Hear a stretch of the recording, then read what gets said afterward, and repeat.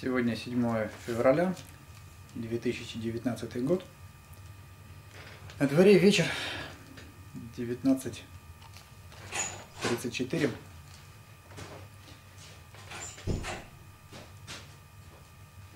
Alexander Buchleitner besitzt 200 Dinge, nicht mehr. Es ist nicht einfach, Alexander etwas zu schenken, erzählen seine Freunde. Man ist schon ein bisschen enttäuscht, wenn die Geschenke nach kurzer Zeit, kurzer Zeit im Müll landen. Alexander ist Minimalist. Er versucht, sich nur auf die wichtigsten Dinge in seinem Leben zu konzentrieren. Von den meisten Gegenständen in seiner Wohnung hat er sich getrennt, um nicht von ihnen abhängig zu werden. Zeitungen, Illustrierte und alte Ordner kommen sofort in Altpapier, ins Altpapier und auch seine Bücher hat er alle gespendet. Immer wenn Alexander einen neuen Gegenstand kauft, muss er ein alter weg. Alexander ist nicht allein. Weltweit gibt es immer mehr Menschen, die sich von ihren persönlichen Dingen trennen, um ihr Leben minimalistisch zu leben. 20 Prozent in unserer Gesellschaft leiden unter Stress am Arbeitsplatz. Ein minimalistisches Leben, minimalistisches Leben kann diesen Druck reduzieren und das Leben erleichtern. Und Alexander sieht noch einen, noch einen Vorteil. Viele Leute, die in meine Wohnung kommen, loben mein, mein Zuhause. Bei dir sieht es aber ordentlich aus, sagen sie. Alexander Büchner, Büchleiter, Büchleitner besitzt 200 Dinge, nicht mehr. Es ist nicht einfach, Alexander etwas zu schenken, erzählen seine Freunde. Alexander Buchleitner besitzt 200 Dinge, nicht mehr.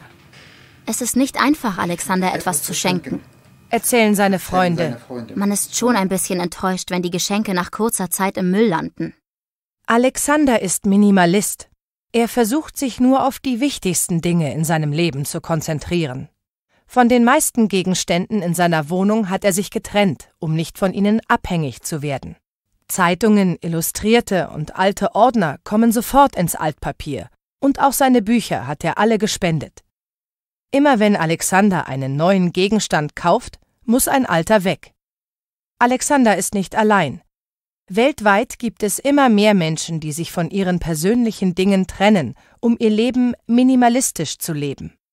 20 Prozent in unserer Gesellschaft leiden unter Stress am Arbeitsplatz. Ein minimalistisches Leben kann diesen Druck reduzieren und das Leben erleichtern. Und Alexander sieht noch einen Vorteil. Viele Leute, die in meine Wohnung kommen, loben mein Zuhause. Bei dir sieht es aber ordentlich aus, sagen sie. Alexander Buchleitner besitzt 200 Dinge, nicht mehr. Es ist nicht einfach, Alexander etwas zu schenken, erzählen seine Freunde.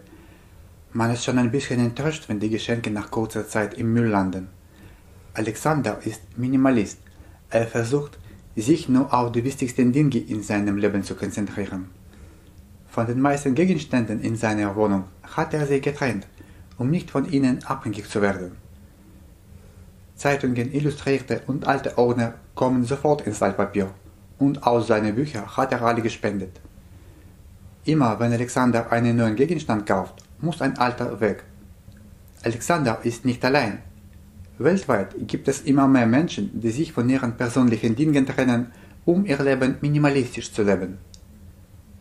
20% in unserer Gesellschaft leiden unter Stress am Arbeitsplatz.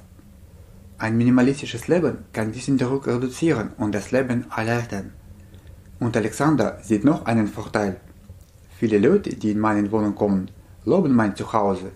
Bei dir sieht es aber ordentlich aus, sagen sie.